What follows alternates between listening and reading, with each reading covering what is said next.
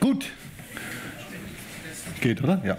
So, hallo zusammen. Äh, herzlich willkommen zu meiner äh, Stunde mit euch. Ich versuche das Ganze relativ interaktiv zu gestalten heute. Äh, ihr werdet die Reise unserer Firma Swisscom Health mit mir zusammen miterleben dürfen. Äh, das funktioniert nicht so frontal. Ich erzähle, ihr hört zu, sondern stellt bitte Fragen. Es ist wie ein ganzer Blumenstrauß an Themen. Es ist die Reise der letzten eineinhalb Jahre. Ich hätte mir jetzt ein Thema rausgreifen können, Einführung von Dev zu DevOps, voller Vortrag, sondern habe ich mich dagegen entschieden, sondern ich möchte euch das ganze Bouquet zeigen und kann deswegen logischerweise nicht auf jedes Einzelthema bis ins totale Detail. Vielleicht verliere ich mich irgendwo, dann Hand strecken und eine gute Frage stellen. Ich fange mit der guten Frage an. Wer kennt Swisscom Health? Äh, na, echt jetzt? Jetzt geht die ganze Intro nicht mehr auf. Okay, so viele. Es sind jetzt fünf, sechs Leute gewesen. Spannend. Äh, normalerweise geht keine Hand hoch. Normalerweise. Hm. Swisscom Health ist ähm, ein bisschen speziell. Also für alle die, die jetzt einen Vortrag erwartet haben von Swisscom, 19.000 Mitarbeiter, falsch. Bitte zu Jason Little rübergehen. Ähm, es geht um Swisscom Health, um die Tochter, um eine der Tochterfirmen von Swisscom. Ich werde kurz ähm, erklären, ähm, worum es uns gibt, was wir tun, denn ich finde es wichtig zu verstehen, wenn ich dann über unsere Transition und Transformation spreche. Äh, hat da ganz viele Herausforderungen, äh, die wir äh, erleben und das bedeutet auch im gleichen Atemzug überhaupt keinen Anspruch an Vollständigkeit, Wahrheit oder auch an Repräsentationsfähigkeit. Das ist unsere Reise gewesen. Ähm, ihr werdet an vielen Stellen Kopfschütteln, hoffentlich. Ihr werdet hoffentlich auch mal nicken und sagen, ja, coole Idee gewesen. Ähm, und so hangeln wir uns äh, vorwärts. Gut. Fragen bis hierhin? Noch alle dabei? Okay. Mein Name ist Stefan Rickhauer. Ich, äh, wie man wahrscheinlich hört, komme ursprünglich aus dem äh, großen Kanton, bin schon seit 20 Jahren in der Schweiz und komme ursprünglich eher aus der Unix Engineering Ecke.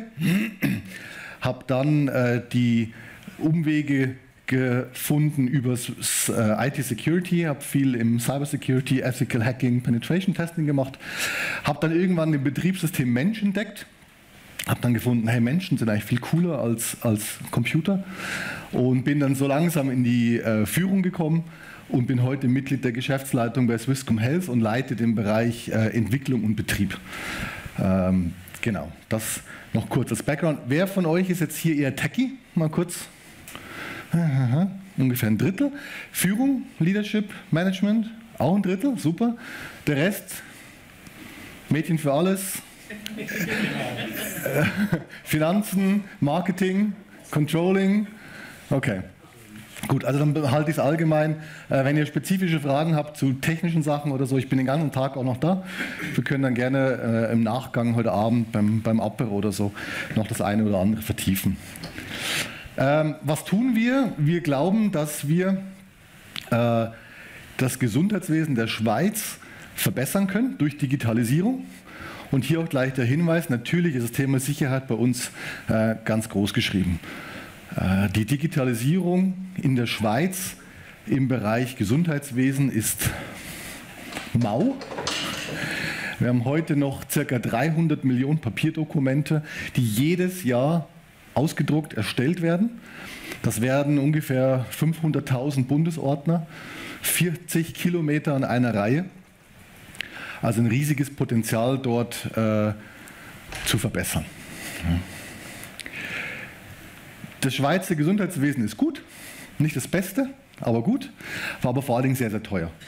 Äh, wenn man die Zeitung aufschlägt und guckt, äh, die Prämien gehen jedes Jahr rauf. Letztes Jahr war das erste Jahr, an dem die 10.000 Franken Marke pro Kopf geknackt worden ist, pro Einwohner. Das heißt, jeder Schweizer und jede Schweizerin äh, gibt jedes Jahr mehr als 10.000 Franken aus im Average für die eigene Gesundheit. Das sind ungefähr 15 Prozent des Jahresbudgets in einer Familie. Das ist relativ viel. Und wir glauben, Teil von der Kostenexplosion ist auch stark auf die ineffizienten Prozesse zurückzuführen und auf diese enorme Unterdigitalisierung. Jetzt kann man sagen, okay, äh, hat man im E-Banking vor 20 Jahren auch gesagt, ist es heute alles billiger und besser? Äh, muss man schauen. Ähm, aber wir glauben daran, dass die Versorgungsqualität steigen wird äh, und dass wir zum Schluss besser, ein besseres Gesundheitswesen erleben werden. Das ist wichtig zu verstehen, wenn es gleich um Agil geht und um, um, um unsere Reise. Punkt 3 unserer Aufgabe. Wie schaffen wir denn äh, ein besseres Gesundheitswesen mit Hilfe, auch mit Hilfe des sogenannten EPD? Hat schon mal irgendjemand was von EPD gehört? Ah, ihr lest alle Zeitungen, das ist super. Okay. Gut, da muss ich nicht viel erklären. Das elektronische Patientendossier kommt nächstes Jahr am 15. April. Da wird sich niemand äh, drum herum drücken können. Ihr als ähm, äh, Bürgerinnen und Bürger habt die Wahl, es zu benutzen. Ihr müsst es nicht tun. Und sogenannte stationäre Leistungserbringer, schon der erste Fachbegriff, also Spitäler, Heime, große Gesundheitspraxen, sie müssen euch ein digitales Dossier anbieten. Und ähm, technisch gesehen baut Swisscom Health die Infrastruktur, damit das später auch getan werden muss. Und das ist noch wichtig zu verstehen. Wir sind relativ IT-lastig, das heißt viel Server, ähm, große Infrastrukturen, viele Komponenten. Ähm, und haben ganz viele Herausforderungen aufgrund von unserem Business. Klar, eine Webagentur, habe ich heute schon beim Pitch gesagt, wie äh, Leap oder kleinere Firmen, die, die auch viel enger mit ein, zwei Kunden zusammenarbeiten können, ähm, haben teilweise viel günstigere Ausgangslagen für eine Transformation als jetzt eine Firma wie Swisscom Health.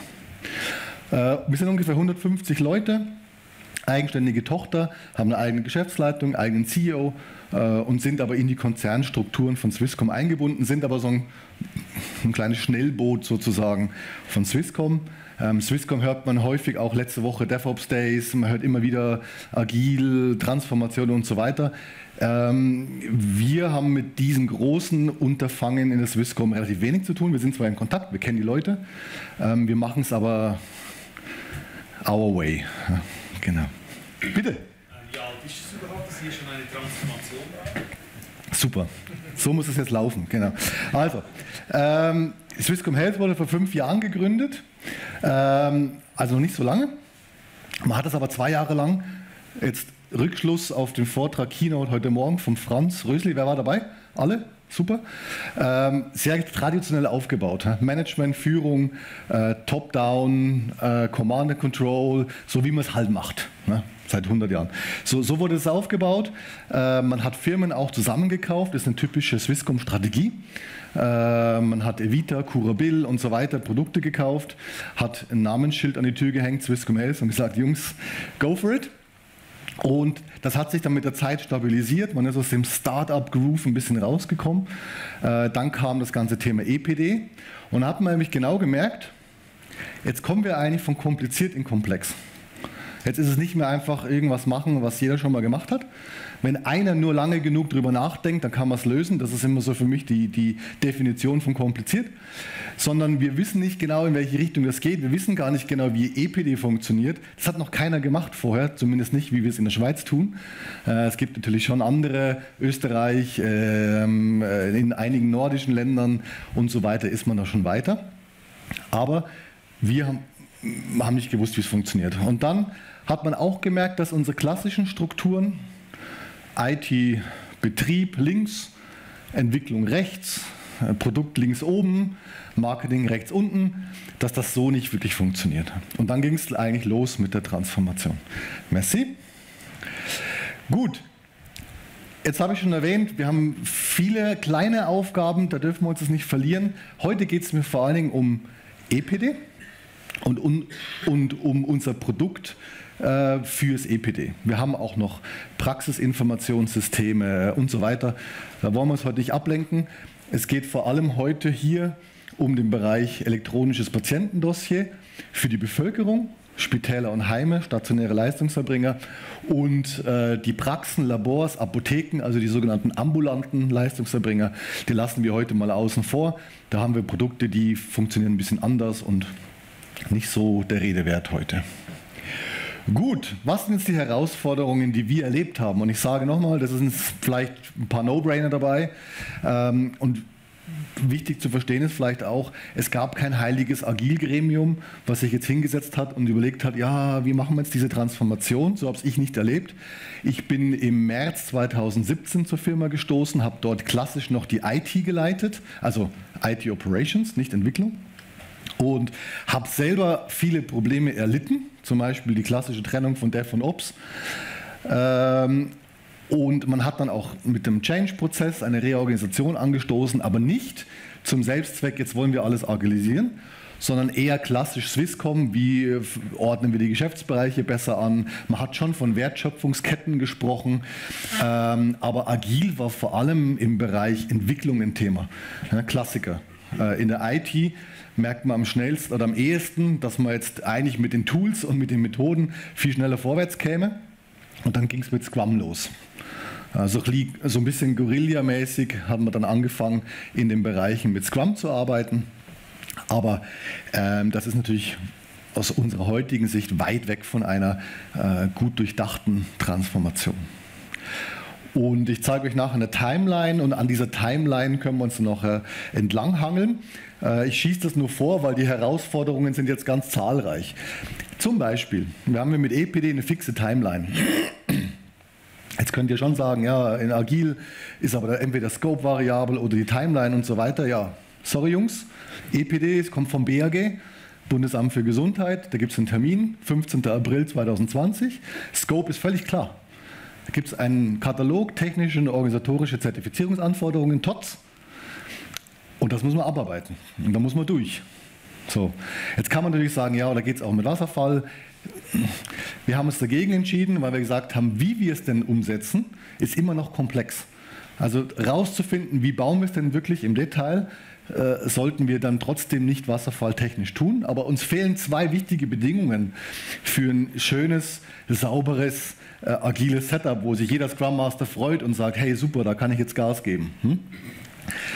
Wir hatten äh, ungefähr 30 interne ähm, Entwickler und Betriebler und davon war ungefähr die Hälfte Bodyleasing. Warum? Weil man ständig die Entwicklung vom EPD in der Liefergeschwindigkeit und so weiter unterschätzt hat. Man hat dann einfach gesagt, komm, da brauchen wir noch jemanden, hier brauchen wir noch jemanden, da noch schnell einen Scrum Master holen und ihr kennt die Firmen alle, die das machen. Ähm, schwierige Ausgangslage. Ne? Know-how-Verlust durch häufige Wechsel. Ähm, kulturellen Problemen durch die hohen Wechsel, keine Stabilität in den Teams, äh, keine einheitliche Kultur und so weiter und so fort. Und jetzt wird es gerade deprimierend. Ich weiß, wir lösen das nachher alles auf. Also jetzt nicht. Gut. Ähm, Entwicklung und Betrieb habe ich schon gesagt, getrennt. Ich habe früher den Betrieb geleitet und wurde dann ein halbes Jahr später, kam ich in die Lage, dann beides übernehmen zu dürfen. Ähm, aber eben nicht so im Sinne von, du, jetzt äh, lass uns das mal in Ruhe überlegen, sondern da hieß es, jetzt machen wir DevOps, da ist dein Team, go for it. Ja. Legacy-Infrastruktur. Jetzt hätte man natürlich das alles äh, neu und schön bauen können. Das haben wir aber nicht gemacht, sondern wir haben vor fünf Jahren schon angefangen, ähm, sehr klassisch das zu bauen, mit klassischen Komponenten, klassische IT. Wie ihr vielleicht wisst, ist die Swisscom Cloud auch noch nicht 30 Jahre alt, sondern wir waren einer der ersten großen Cloud-Kunden der Swisscom. Swisscom intern müssen wir natürlich oder wollen wir auch die Swisscom Cloud benutzen. Ähm, und das war damals einfach Infrastructure as a Service.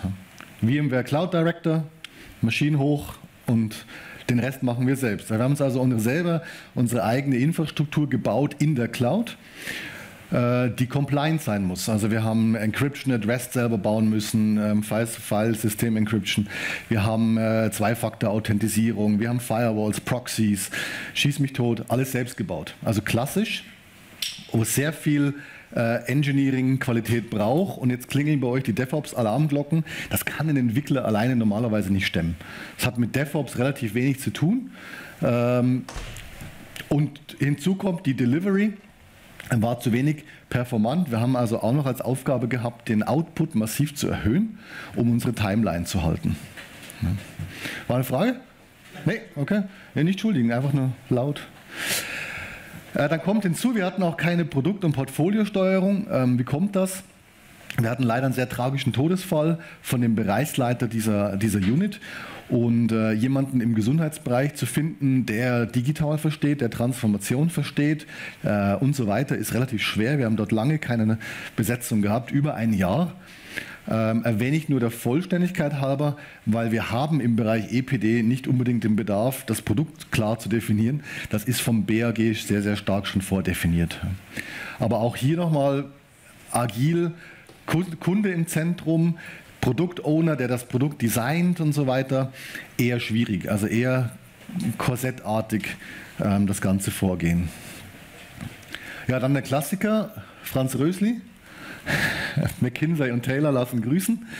Ähm, das ist so. Ne? Also Konzerne haben nicht immer moderne Management- und Führungssysteme, vor allen Dingen nicht Großkonzerne. Und da sind wir auch nicht anders.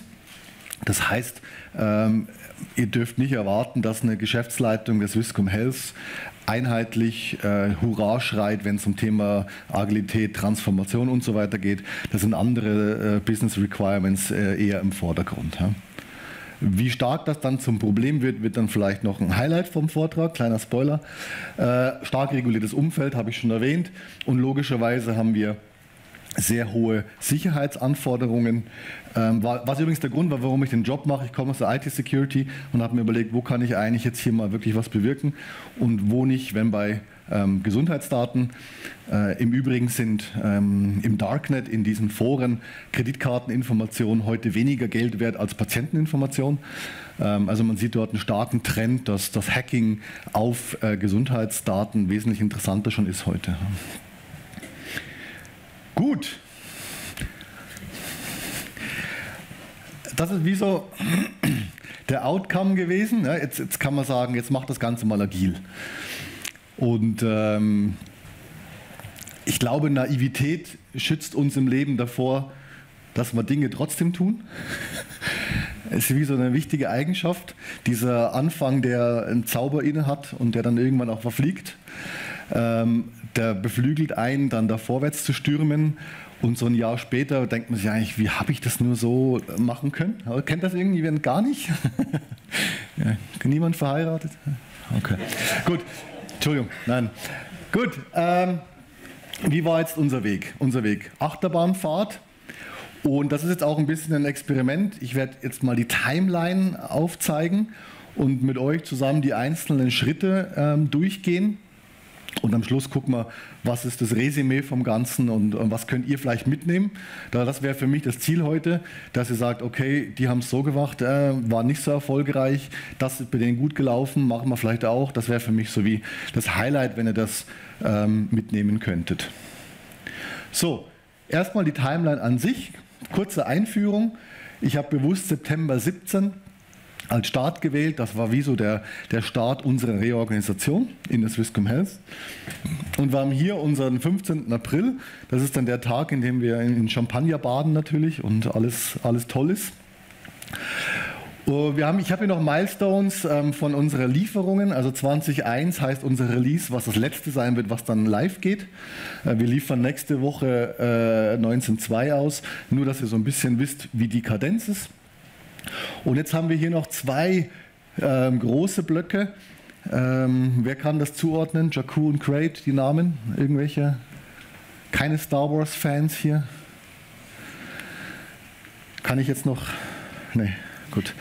Äh, Jakku und Crate sind Planetennamen von Star Wars, ist so ein bisschen ein Tick von mir. Bei uns haben alle, Planet, äh, alle Projekte so komische Namen. Wichtig ist zu verstehen, ich, ich benutze die vielleicht manchmal und damit ihr den Kontext habt, Jakku war das erste Großprojekt sozusagen äh, in der Skalierung, haben wir vorher gehört, die, die, die äh, Delivery, den Output massiv erhöhen. Und Crate war das Nachfolgeprojekt, um die, den Output nochmal drastisch zu erhöhen. Also wir reden davon, dass wir hier in der Phase von ungefähr Februar bis August ähm, die Entwicklungsmannschaft um ungefähr 20 Prozent vergrößert haben. Und wir reden in dieser Phase davon, dass wir diese Entwicklungsmannschaft in der Zeit nochmal verdoppelt haben. Signifikant. Und das hat einen großen Impact natürlich auf Transformation, Kultur und so weiter und so fort. Wir haben ab hier die E ETB EPD-Zertifizierung, ist noch wichtig. Wir können nicht einfach irgendwas bauen und live gehen, sondern das wird von einem äh, akkreditierten Zertifizierungsunternehmen wird das angeschaut, sehr im Detail. Das geht jetzt schon los. Und äh, die müssen wir, respektive unser, unser ähm, und die sogenannte Stammgemeinschaft, will ich euch nicht verwirren, also unser Hauptkunde, der das dann anbietet, ähm, wird dann zertifiziert. Gut, jetzt geht's los. Alle noch dabei? Gut. Ich habe jetzt hier mal alle Punkte eingezeichnet. Kick-off-Transformation. Fangen wir da mal an. Äh, es ging los am 1.9. Ich habe mir Gedanken gemacht und gesagt, okay, agil heißt selbstdefiniert, selbstbestimmt. Ähm, wir hatten schon ungefähr 30 Leute. Die müssen sich jetzt eigentlich aufteilen zu Teams. Ne? Und nach Lehrbuch dachte ich mir, okay, dann machen wir das natürlich mit so einem Squad-Building-Event. Wir haben damals uns an Spotify-Modell angelehnt, als allererstes. Äh, warum? Swisscom hat auch Kontakte mit Spotify. Es gibt im Swisscom-Konzern ähm, einige äh, Streams, die versuchen, das Modell äh, anzuwenden innerhalb der Swisscom. Swisscom TV ist zum Beispiel so ein Beispiel, was immer erwähnt wird, das Glorreiche. Und wir haben gesagt, okay, wir wollen eigentlich äh, DevOps-Teams bauen, dass wir mal diese Grenze auflösen zwischen Dev und Ops. Wir wollen das aber nach Scrum machen. Also wir wollen einen PO haben und einen Scrum Master. Aber wie machen wir es? Wer ist jetzt in welchem Team? Wie viele Teams braucht es? Und so weiter und so fort. Und da ging es natürlich schon los. Wer, äh, wer entscheidet das? Ist das Management oder sind das die Teams? Und ich habe gesagt, okay, lass uns die Teams entscheiden. Wir haben einen sogenannten Squad Building Event gemacht. Alle Leute in einen Raum, einen Tag lang mit drei Agile Coaches. Und die Teams durften sich wie selber entscheiden, wie sie es schneiden wollen. Und dann kamen zum Schluss zwei Teams raus, je ungefähr 15 Leute. Schon irgendjemand, der gerade Schnappatmung bekommt? Okay. Äh, das Management hat dann gesagt, ja, es reicht ja ein PO für zwei Teams. Gut, okay. Und ähm, ich habe mich dann glücklicherweise durchsetzen können. Es gab dann doch zwei POs und äh, äh, zwei, zwei Scrum Master, aber nur zwei Teams. Ja. Wieso nur zwei Teams? Gute Frage. Warum nur zwei Teams? Vorher war es nur eins. Also war natürlich zwei schon mal besser. ja? Gut. Ähm, und wenn man sich nicht auskennt oder respektiv, wir hatten dann natürlich auch schon Beratungsfirmen, die äh, uns in dem Prozess begleitet haben, das wurde oft nicht auch wirklich im Detail hinterfragt. Da hat man gesagt, ja, da müsst ihr halt gucken, 15 Leute, das kriegt man hin und so weiter. Ähm, wir haben dann den Start von DevOps, also das Hinzunehmen der Ops-Leute, noch ein bisschen verschoben, weil wir schon gemerkt haben, es ist gar nicht so einfach, mit 12, 13 Leuten vernünftig zu arbeiten in einem Team. Und ehrlich gesagt war das wahrscheinlich auch einer der größten Fehler. Und das hat sich psychologisch ganz interessant ausgewirkt. Punkt 1 war, die Zeremonien waren endlos lang. Also man ist mit dem Daily gar nicht durchgekommen. Äh, was dann auch dazu geführt hat, dass dann der, der angefangen hat, der hat was erzählt und dann war er schon wieder innerlich weg. Also der hat gar nicht mehr zugehört, bis alle mal durch waren. Ähm, man hat keine Referenzstory gefunden, auf die man sich hätte einigen können, wie viele Storypoints ist denn die groß weil das Spektrum war so breit, die Expertise der Leute so tief, dass natürlich der Architekt gesagt hat, ja, für mich dauert das nur irgendwie einen halben Tag und der andere gesagt, ja, einen halben Tag, das mache ich dir in, in zwei Stunden. Und es hat, hat einfach nicht funktioniert, dort eine gemeinsame Referenzgröße zu finden. Wir hatten alle spannende psychologischen Nebeneffekte von dieser Entscheidung und wir haben zwei hochprofessionelle Scrum Master an dem Thema verbrannt, die wirklich auch irgendwann gesagt haben, Stefan, wir müssen das ändern. Das funktioniert einfach nicht, period. Das ist eins von diesen Themen, wo ich auch nicht mehr mit mir heute diskutieren lasse. Kommt immer wieder mal einer und der sagt, die Teams sind zu klein, wir brauchen größere Teams. Ähm, das ist bei uns durch. Ne? Also machen wir heute so nicht mehr. Wir haben, dann ging Jakku los, wir haben gemerkt, ja, mit den Leuten ähm, werden wir hier 2020 nie fertig. Wir müssen das massiv beschleunigen. Die Budgetrunde, Franz, die war schon durch, ja, klar. Too late for adjustments. Da habe ich einen Auftrag bekommen, du darfst skalieren, 20 Prozent, aber budgetneutral. Habe es natürlich auch ein Ziel gehabt. so, ähm, haben wir hingekriegt. Wir haben dann natürlich an allen Ecken und Enden das Geld zusammengespart. Und haben gesagt, okay, 20 Prozent kriegen wir hin.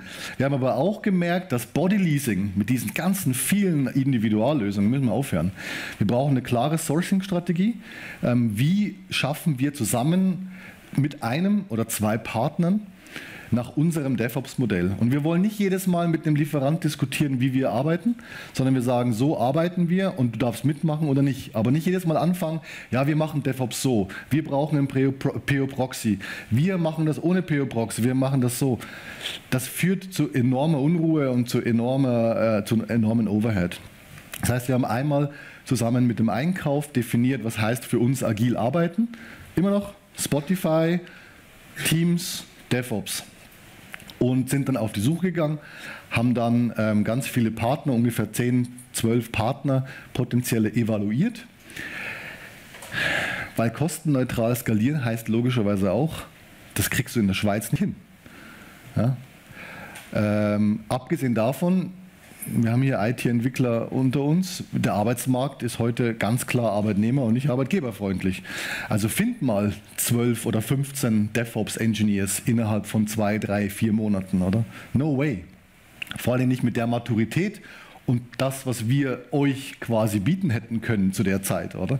Ihr seht dann vCloud Director und Fixed Time, Fixed Scope und äh, Chaos. Das macht ja niemand freiwillig, ne? außer die, die schon da sind. Gut.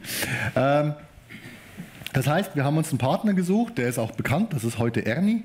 Äh, Ernie Consulting. Ähm, sie bieten äh, in der Schweiz, ähm, haben wir Kollegen von ihnen, einerseits aber auch im Shoring Center in äh, Bratislava. Uns war wichtig, dass wir dort schnell sind, dass die Kultur nicht zu weit weg ist. Also so Themen wie Indien und so weiter kamen für uns nicht in, in Frage, ähm, weil wir wirklich dort Zugriff haben wollten auf eine ähnliche Kultur und auf ein ähnliches äh, Verständnis der Zusammenarbeit. Und das fand im Rahmen vom Projekt Jakku statt. Das heißt, dort haben wir das aufgebrochen, das große Dogma von den zwei, es gibt nur zwei Teams und diesen riesig haben wir aufgebrochen. Wir haben einen sogenannten Squad Slicing Workshop gemacht. Wir haben gesagt, jetzt müssen wir die Teams komplett neu schneiden. Ähm, die Leute haben auch mehr gelernt, die wussten jetzt, ja, aber eigentlich macht es viel mehr Sinn, wenn wir dort ein Backend-Team haben. Dort haben wir ein Frontend-Team da machen wir APIs, dort machen wir dieses. Das kam dann auch von den Leuten. Wir haben das dann neu geschnitten und waren unglaublich stolz darauf, dass wir ungefähr zehn Teams hatten. Es sind jetzt acht, aber ungefähr zehn Teams. Ähm, wir haben von Anfang an Vollzeit Scrum Master eingestellt, weil ich, ich wusste nicht viel zu der Zeit. Ich bin ja heute noch kein Experte der Agilität, ähm, aber ich habe verstanden, Scrum Master, das ist der Schlüsselpunkt, der Dreh- und Angelpunkt von der Transformation. Das ziehen wir bis heute auch so durch. Äh, äh, das hat funktioniert. Ein Scrum Master hat aber immer zwei Teams bei uns. Das ist das Maximum. Also wir kriegen es, wir haben es auch schon mit mehr probiert. Das kriegst du aber mit den ganzen Zeremonien und Retro und Planning kriegst du es wie nicht durch und dann das funktioniert nicht. Zwei Teams, das ist das Maximum, circa 40 bis 50 Prozent pro Teams. Bitte. Habt ihr dann das Shoring als gesamtes Team eingekauft oder dann gemischte Teams an? Wir haben beides probiert. Äh, ein gesamtes Team war die Frage oder Mixteam. Also Mixteam. Ähm, ich war ein großer Fan von Mixteams, weil ich mir gedacht habe, cool, Kultur kommt zusammen, Sprache kommt zusammen, Handover und so. Hat überhaupt nicht funktioniert. Weil die Leute bei uns intern hatten natürlich auch Schiss, jetzt ihren Job zu verlieren. Dann war auf einmal die Angst da, jetzt kommen da günstige Leute aus Bratislava hups, die sind ja auch gar nicht so schlecht, im Gegenteil, die sind vielleicht manchmal sogar besser. Ja? Da hat man ja auch noch so Vorurteile vielleicht im Hinterkopf. Dabei sind das super top ausgebildete Leute, die, die das genauso gut, vielleicht sogar ein bisschen ambitiöser machen, als der in der Schweiz schon äh, Maslow-Pyramide komplett erfüllt und so weiter und so fort. Ja? Und ähm, da waren auch Ängste da, die wir ganz stark ähm, abbauen mussten, mit viel Transparenz, viel Information. Ich habe den Leuten immer von Anfang an gesagt, es wird kein einziger seinen Job verlieren. Im Gegenteil. Und das konnten wir auch gut verargumentieren aufgrund der riesen Workload, ähm, die wir haben. Und das habe ich Versprechen bis heute halten können und das werde ich auch tun. Es hat keiner gehen müssen. Was aber passiert ist, Leute sind freiwillig gegangen. Und das war ein Learning für mich. Du kannst nicht jeden auf diese Reise mitnehmen. Es gibt tatsächlich auch Persönlichkeiten, die wollen nicht agil arbeiten. Ähm, ich habe das selber nicht verstanden. Wie kann das sein, oder? Purpose, Autonomy, Mastery und alles ist da.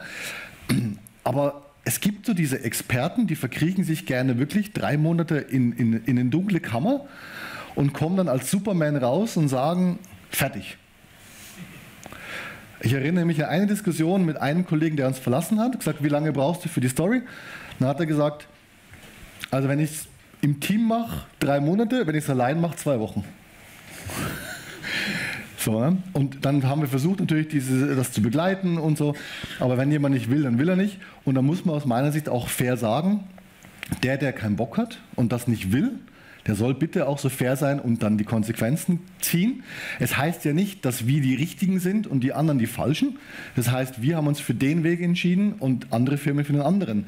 Und es kann auch sein, dass ein anderer Weg für dich besser passt. Ne? Und es ist heute so, uns haben zwei, drei ähm, Top-Cracks verlassen. Die sind heute happy und es freut mich riesig und ist auch gut so. Ähm, die, die heute bei uns sind, die sind eigentlich alle ähm, mehr oder weniger äh, auf dem Weg mit uns gemeinsam immer agiler zu werden. Halbzeit, ne? Gut. Ähm, jetzt haben wir, waren wir ganz stolz mit dem Squad Slicing Workshops. Zehn Teams, äh, Teams sind happy, Komponenten klar geschnitten. Conway's Law haben wir angewendet. Wer kennt das? Conway's Law? Super. Ähm, da unterscheidet man zwischen Feature Teams und Component Teams. Und die Idee dahinter ist, bei Conway's Law, ist, du musst eigentlich die Komponenten so schneiden, wie die Teams auch sind und umgekehrt. Also die Organisation und die Technologie beeinflussen sich gegenseitig.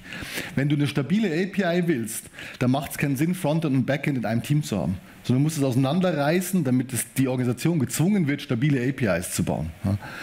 Das haben wir gemacht, hat funktioniert. Jetzt war aber eine Gruppe überhaupt nicht happy mit uns. Das waren Projektleiter, die dann uns äh, Spitäler anbinden, Sales, äh, Product Portfolio, weil die haben gesagt, ja, jetzt möchte ich aber mit einem reden, der versteht, wie E-Zuweisung funktioniert. Dann habe ich gesagt, ja gut, wir haben zehn Product Owner, such dir einen aus.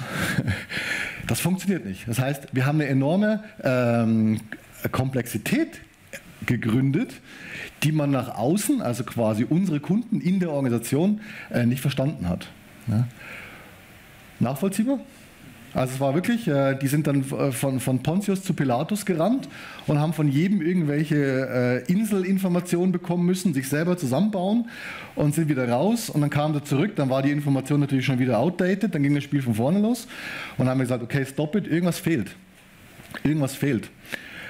Weil EPD ist so groß, dass mit diesen zehn Teams, das waren wirklich acht, acht Komponententeams, ein Feature-Team geht nicht. Feature-Team haben wir versucht mit zwei ähm, das ist zu groß, als dass man da ein großes machen kann. Und dann haben wir gesagt, okay, wir brauchen eine Art Abstraktionslayer. Nichts Hierarchisches, aber irgendwas, was diese Squads koordiniert, was den Informationsfluss steuert und was nach außen die Abstraktion unsichtbar macht. Dann haben wir das so aufgemalt und dann sagt einer, ja, aber das ist ja safe. genau. Und so ging es dann los. Wir haben dann tatsächlich gelernt, ähm, wir brauchen einen, einen Program Layer gemäß Safe. Wir wollten aber nicht dogmatisch werden. Wir wollten jetzt auf keinen Fall in dieser Phase dieser wahnsinnigen Skalierung Diskussion führen über, ist das jetzt safe, ist das nicht safe, darf man das in safe, darf man das nicht in safe, kennt ihr von Scrum wahrscheinlich auch. Ähm, das ist nicht wertstiftend. Wir brauchen was, was uns weiterbringt und es ist gut, hat man mal ein paar Rezepte ausprobiert, bevor man anfängt, Freestyle zu kochen. Äh, das ist auch gut, also nicht irgendwie mit irgendwas anfangen und man hat eigentlich überhaupt keine Basics, die braucht man. Äh, und deswegen haben wir gesagt, wir, wir, wir führen jetzt nicht Safe ein und beschäftigen uns wieder ein halbes Jahr mit uns selbst, sondern wir führen einen Program Layer ein. Und ähm, wir brauchen dort jemanden, der quasi das Gesamtprodukt versteht, so eine Art Super Product Owner. In Safe heißt er Product Manager, was äh, total verwirrend ist für uns, weil ein Product Manager ist bei uns was ganz anderes. Ähm, anyway, dann haben wir eine Art Super Scrum Master, der mit den ganzen Scrum Mastern diskutiert und die Abhängigkeiten trackt, auflöst, also Impediments overall. Weil ein Scrum Master, der ein, zwei Teams hat, der sieht ja nur die Abhängigkeiten von den Teams, ähm, vielleicht nochmal durch Gespräche, aber der kann alleine das gar nicht auflösen. Das heißt, wir haben einen Super Scrum Master, heute heißt er Release Train Engineer, ähm, installiert und sie sorgt dafür, dass jetzt heute sie als Ansprechpartner in die Organisation vorhanden ist und als Ansprechpartner für die einzelnen Teams unten. Genau. Und dann haben wir aber auch gemerkt, es macht wenig Sinn. Jetzt kommt wieder Kopfschütteln bei euch, so Facepalm. Wir haben dann angefangen, die Rollen selbst zu definieren und selbst zu benennen. Da gab es dann auf einmal einen Tribe Master. Ja, ich könnte es so weitermachen. Ihr habt ihr Message es kam rüber. Spotify. Genau, weil wir wollten, wir haben gemerkt, irgendwie, hey, wir machen ja Spotify, also müssen wir irgendwie weitermachen, oder? Und dann haben wir gelernt, ja, aber Spotify passt für uns gar nicht. Das ist, es, es, es regelt keine Ablauforganisation.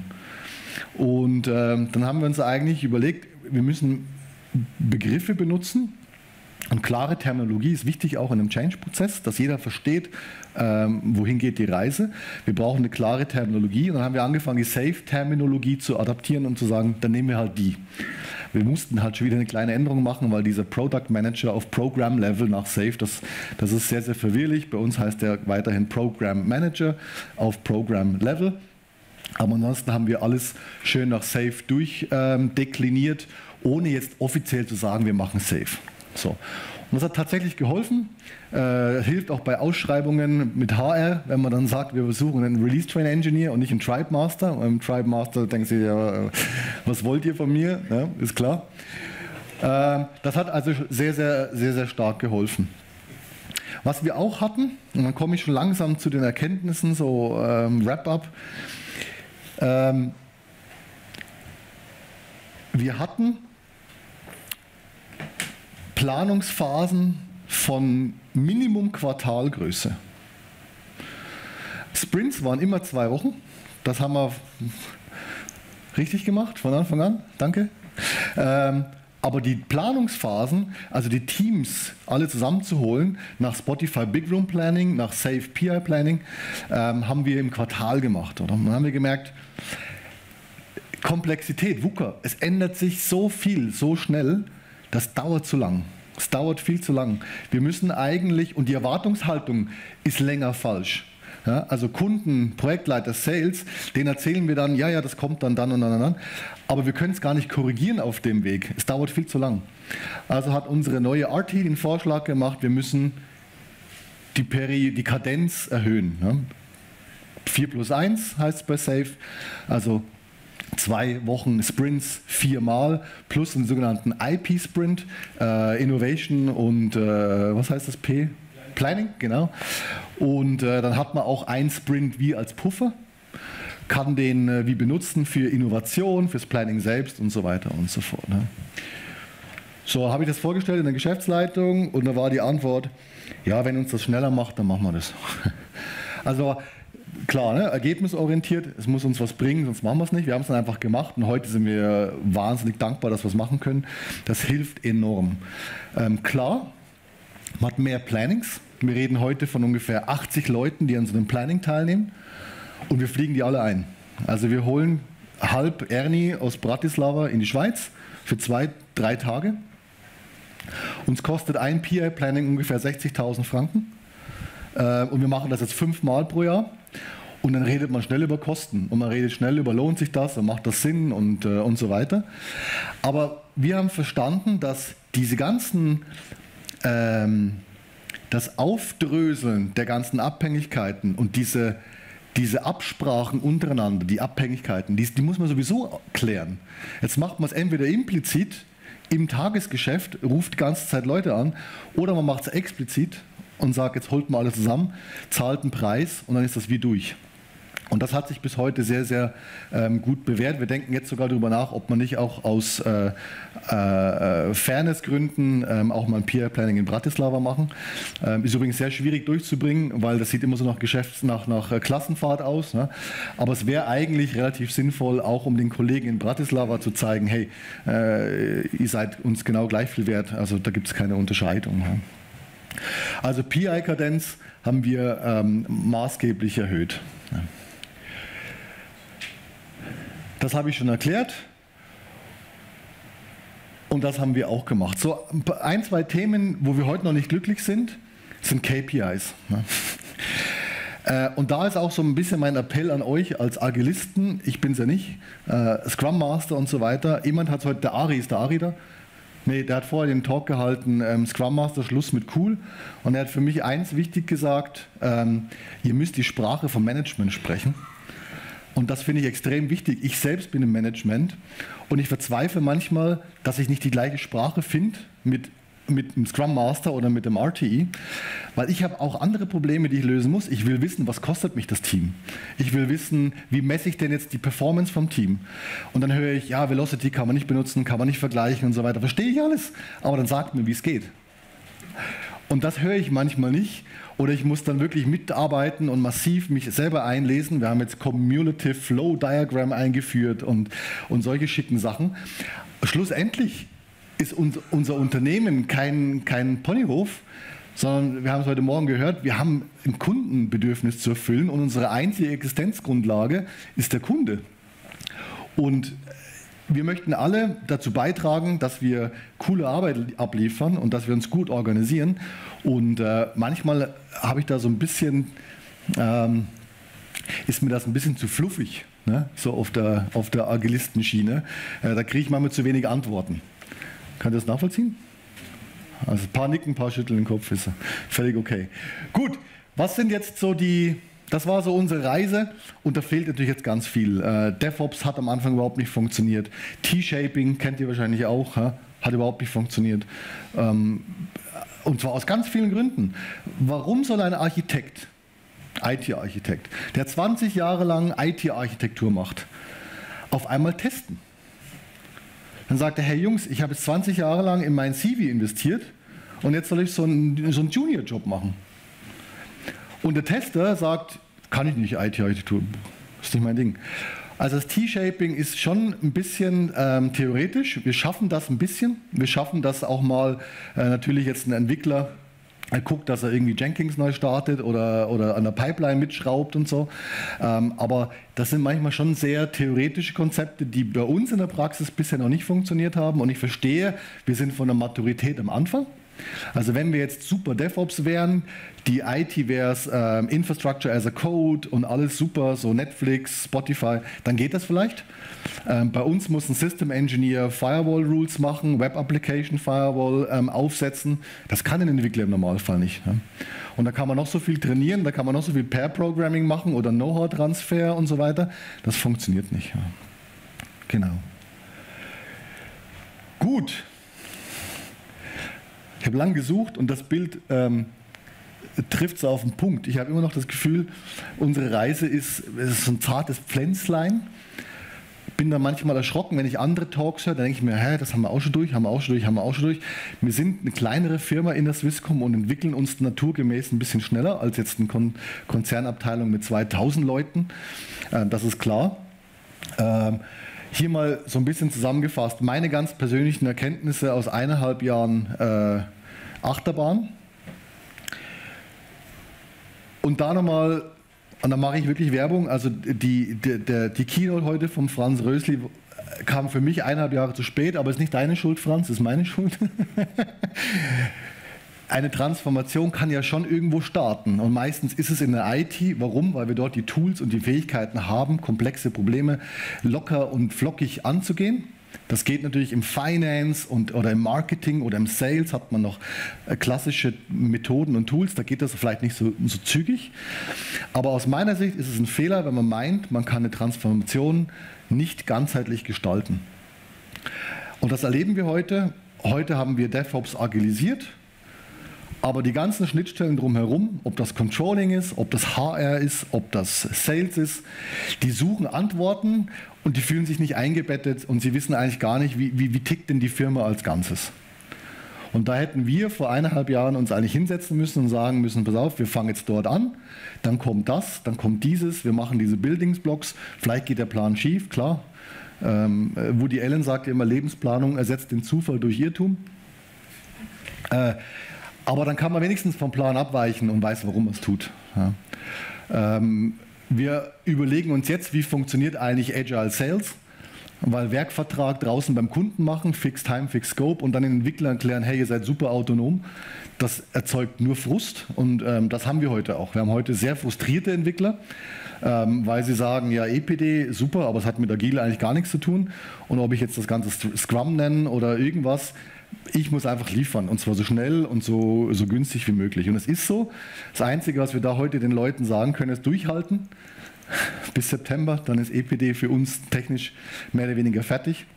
Und dann werden wir andere Sachen bauen, wo wir es hoffentlich dann besser machen. Und darum hier die Differenz auf Beyond Budgeting nochmal. Ähm, Führungsverständnis, aber auch Management. Leute sagen immer Leadership, es braucht Leadership. Ich kann es bald nicht mehr hören. Es ist nicht nur Leadership, es ist auch Management. Man muss auch wirklich verstehen, wie organisiere ich die Arbeit. Es braucht nicht nur einen Inspirator, der sagt, ich bin Chief Morale Officer und ihr seid alle super, sondern es braucht auch wirklich Menschen in der Geschäftsführung bis zum CEO, die sich hinsetzen und überlegen, wie lösen wir denn komplexe Probleme. Und das sind aus meiner Sicht, Hypothese, kann alles falsch sein, gefühlt 95 Prozent nicht, äh, nicht auf dem richtigen Weg heute. Aber man kann auch nicht einfach kündigen und woanders hingehen, weil da ist es ja auch nicht besser. Also wenn ihr irgendwo seid, wo es in die richtige Richtung geht, dann bleibt dort und helft mit, dass es, äh, dass es besser wird. Ähm, das meine ich hier auch mit kulturellem Wandel.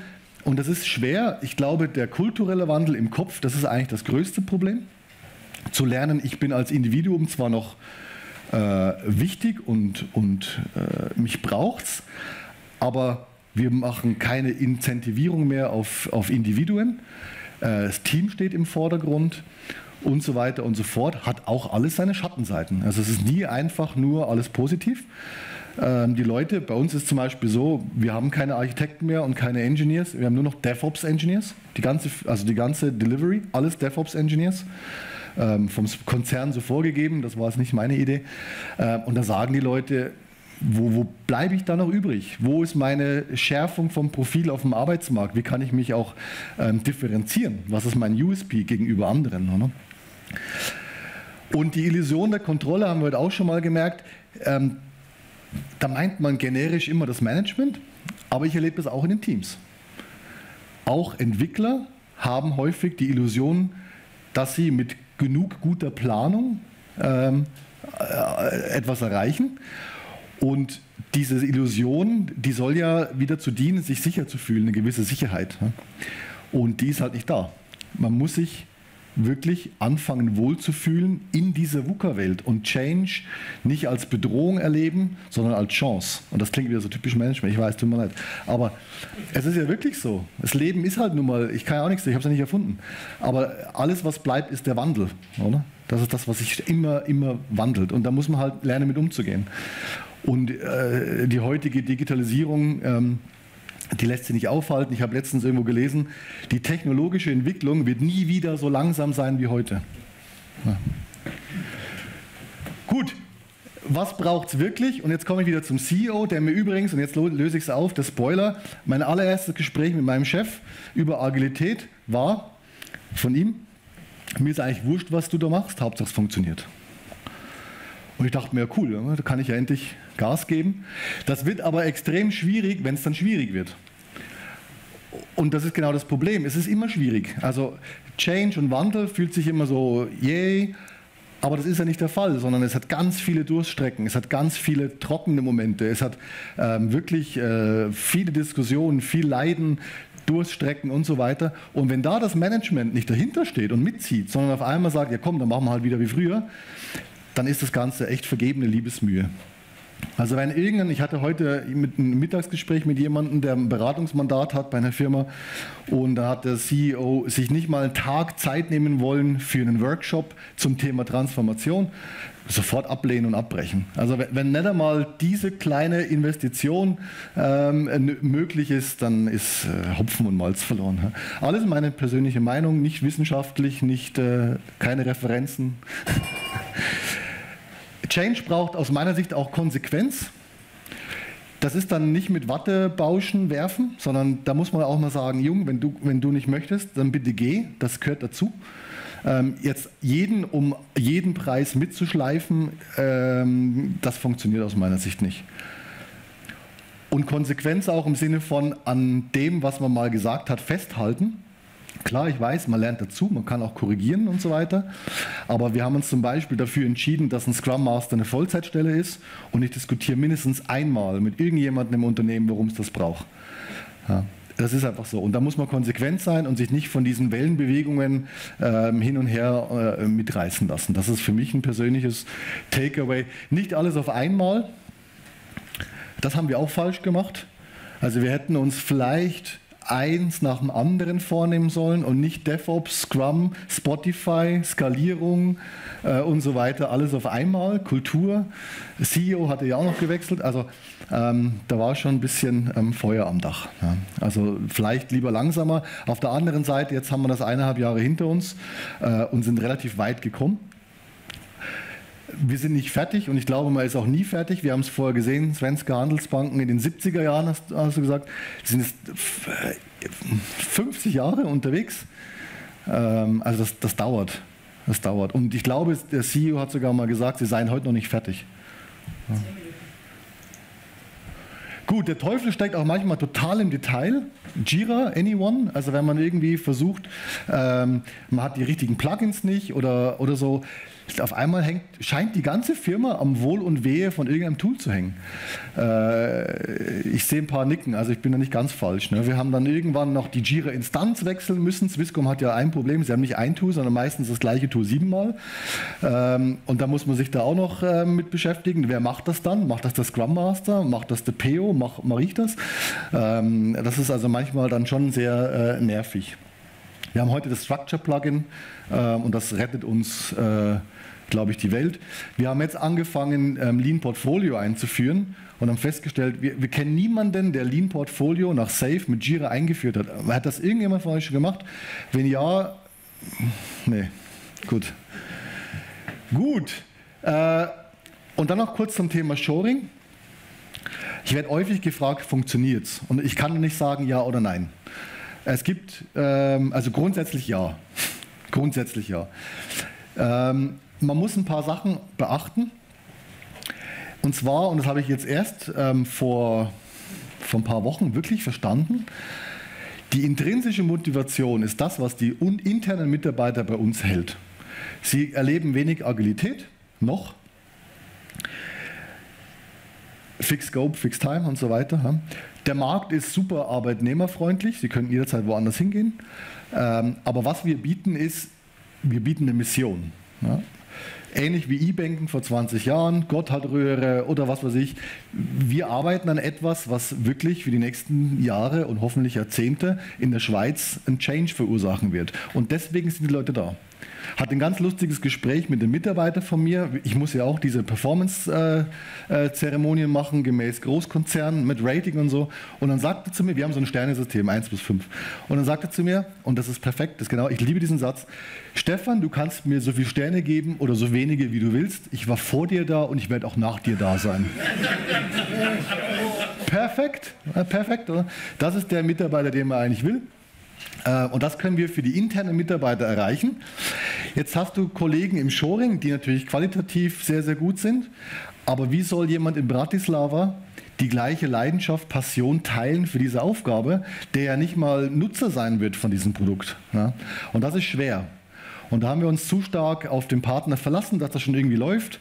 Und das merken wir jetzt, da müssen wir stärker uns engagieren. Ne? Wir fliegen öfter rüber, ähm, ich schicke ganze Teams rüber für eine Woche, einfach damit die Kultur ähm, anfängt zu, zu laufen. Mixteams haben wir schon besprochen, vielen Dank, hat gar nicht funktioniert. Meiden wir heute wie der Teufel das Weihwasser.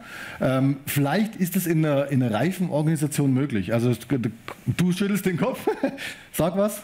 Wir haben es mit äh, St. Petersburg versucht auch zuerst Mixteams und das waren einfach verlängerte Werkbank. Ja, eben. Und da, sie bekommen wirklich nur billige Arbeit. Ja. Und äh, die waren völlig nicht involviert. Okay. Also ich wiederhole es kurz, er hat es probiert, St. Petersburg war eher eine verlängerte Werkbank und hat, hat nicht funktioniert. Ja. ja. Gut. Das war's soweit. Ähm, wir suchen immer noch coole Leute. Wir suchen jetzt gerade einen Product Owner für unser EPD-Portal. Also wenn unter euch jemand ist oder jemanden kennt, der ähm, die Aufgabe übernehmen möchte und da uns in unserer Reise äh, begleiten will, dann feel free. Bei uns ist immer viel in Bewegung, starkes Wachstumsfeld und äh, würde mich sehr freuen, äh, wenn ihr mich auch auf LinkedIn kontaktet. Bin relativ entspannt. Und jetzt haben wir noch Zeit für Fragen, fünf Minuten. Fast eine Punktlandung. Gut, ich kann es verstehen, alles unterschlagen, es war sehr viel Info in kurzer Zeit. Bitte. Ja, eine Frage, also der Release ist jetzt auch geplant auf äh, 2020. Ja. War die Software in der Zwischenzeit nie live oder gibt es da irgendetwas, was Die ist beim ist? Kunden, also nie richtig live, es sind noch keine Kundendaten drauf, also noch keine Patientendaten, dürfen wir noch nicht, weil wir noch nicht zertifiziert sind. Ähm, aber der Kunde ähm, bekommt sogenannte Releases, die er dann bei sich pseudo-live benutzt, ähm, wie er das möchte, um zu gucken, ähm, erfüllen wir auch die Regulatorien, funktioniert das auch und so weiter. Übrigens, spannendes Learning für uns. Ich habe dann gelernt, oh, Scrum, okay, da muss der Kunde involviert sein. Dann haben wir mal den Kunden eingeladen und dann sagt er, ja, ich möchte den Knopf aber in grün, ich möchte das links. Das darf er gar nicht wollen, weil das so nicht erlaubt ist nach der äh, Vorgabe. Und da kommt dann auch der, der Feedback-Loop äh, an seine Grenzen. Da kannst du eigentlich auch entwickeln ohne Kunde und er muss es halt dann so nehmen, wie er will. Yes, bitte. Äh, Mikro, glaub, Mikros, ja. Gedacht, gedacht, wir wären wenige genug, aber okay. Wie, nee, wie war es denn mit dem äh, Hereinholen der methodischen Kompetenz, wenn das ja ein äh, Transformationsprozess war? Mussten alle vieles neu lernen. Ja, genau. Du sprichst ja wie ein äh, Habitué von zehn Jahren in agilen Entwicklung. Ja, also was haben wir gemacht? Wir haben ganz am Anfang ähm, alle Mitarbeiter in eine Scrum-Schulung geschickt. Und gar nicht mal wegen Scrum, sondern es ging eigentlich eher um, da passiert was. Ähm, auf einmal müssen wir anders arbeiten.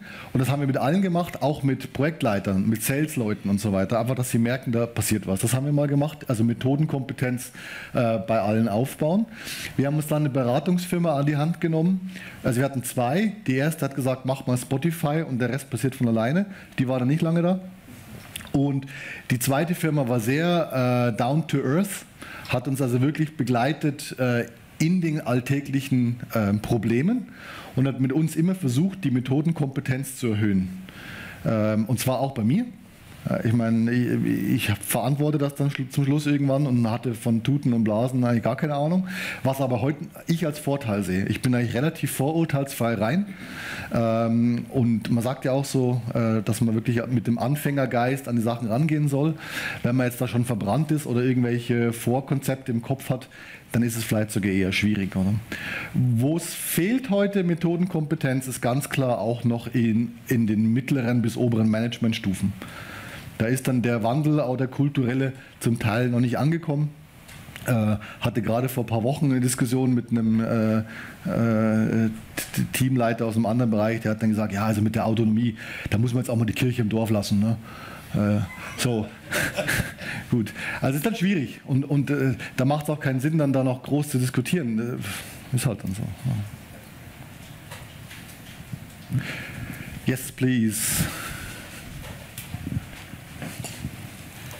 Ähm, unter dem Sicht von den Einschränkungen, die ihr jetzt habt für den EPD, ähm, es ist ja für den Mitarbeiter schon noch wichtig, um eine Mission zu haben. Habt ihr schon nach dem Go Live schon ein, zwei mega spannende Produkte sozusagen als ja. Line-up? Wo, wo man dann sich schon freuen kann genau. als Mitarbeiter. Das ist jetzt äh, perfekte Überleitung. Das ist sehr, sehr, also perfekt analysiert. Bist du, suchst du einen Job? also, das ist Perspektive die Leute haben, brauchen Perspektive. Das brauchen wir ja alle. Wir wollen ja irgendwo wissen, wo geht es ungefähr hin. Und ich habe aufgehört zu sagen, EPD ist super, sondern irgendwann habe ich gesagt, okay, EPD es ist halt jetzt so, wir kriegen das hin und jetzt. Und jetzt haben wir ein paar coole Sachen am Horizont. Wir werden in den B2B-Markt einsteigen. Also, äh, ohne das mal zu sagen, sehr ins Detail gehen, EPD ist sehr, sehr stark reguliert und bietet funktional sehr, sehr, sehr wenig. In zehn Jahren wird das ähm, super sein, aber in diesen neuneinhalb Jahren, die da noch fehlen, ähm, können wir im unregulierten Bereich sehr, sehr viele B2B-Services anbieten, mit dem Kunden direkt und die wollen das sogar. ähm, und das ist sehr, sehr spannend. Und da werden wir jetzt in den nächsten Wochen anfangen, die ersten Sessions zu machen, zu gucken, wie schneiden wir das, welche Teams braucht es, machen wir das hier in Bratislava zusammen und so weiter. Ähm, das ist mal eins. Dann haben wir noch eine, eine Cloud-Migration, die ansteht, was vor allem für unsere Techies cool ist, weil dann kommen wir weg von diesem uralt ähm, vCloud Director und werden äh, Kubernetes haben und so weiter. Das motiviert die Leute. Ähm, also da hat es einiges, einiges am Horizont und äh, da legen wir jetzt gerade relativ viel Fokus drauf, dass wir das so kommunizieren und wenn wir schon was Tolles haben, dann das Licht am Ende des Tunnels, muss man sagen, es ist kein Zug, der entgegenkommt, sondern es ist wirklich äh, der Ausblick. Yes, noch eine letzte Frage? Kann verstehen, das war jetzt so auch zum Teil vielleicht oberflächlich, aber wie gesagt, ich bin auch noch heute da, den ganzen Nachmittag können gerne noch das ein oder andere vertiefen. Ähm, ihr merkt vielleicht an meinem Redefluss, erstens als Deutscher kann man eh reden wie ein Maschinengewehr, aber ähm, ich habe auch einiges äh, noch im Petto und was ich mit euch gern teile. Super, dann herzlichen Dank und schönen Nachmittag. Tschüss. Danke.